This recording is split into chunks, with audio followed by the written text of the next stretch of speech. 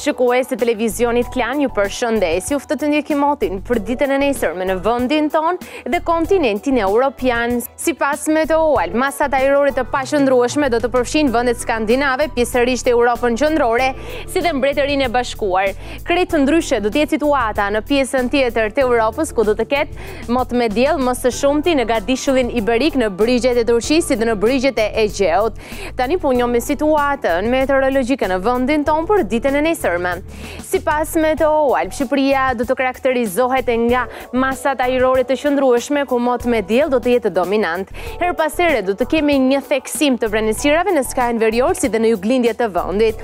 Mbrëmja dhe nata do të jenë me të njëjtat kushte atmosferike.